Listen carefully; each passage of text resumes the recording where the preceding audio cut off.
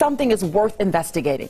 First, try to determine if the object that the person reported is something they've misunderstood, such as the planet Venus or perhaps an aircraft late at night. So we try to eliminate all possible explanations in the beginning. So let's dive into some of these reports that MUFON gets. The top three cases. Uh, the first one involving Ontario, Canada. What is that case about?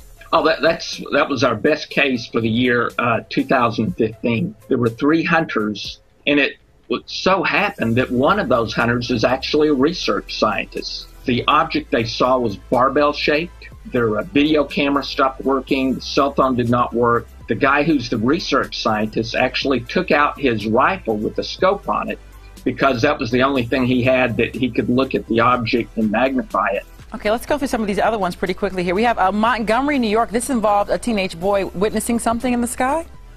Yes, what made this case interesting um, is we actually had radiation where supposedly this disc shaped object that this young boy saw, and he went through the woods to get a better view.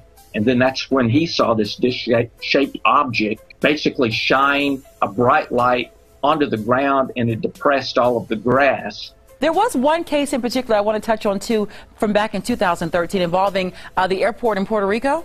Um, this was a case where a Homeland Security aircraft was going on a normal uh, drug patrol around the Puerto Rican coast. They see a red light approaching the airport, and there's no aircraft that are supposed to be coming in. So they turn on their infrared camera system uh, to capture the object. And then the object goes into the ocean and the most amazing thing is it comes back out of the ocean and then the object splits into two parts, equal sized parts. All right, Robert Powell from MUFON, thanks so much for joining us.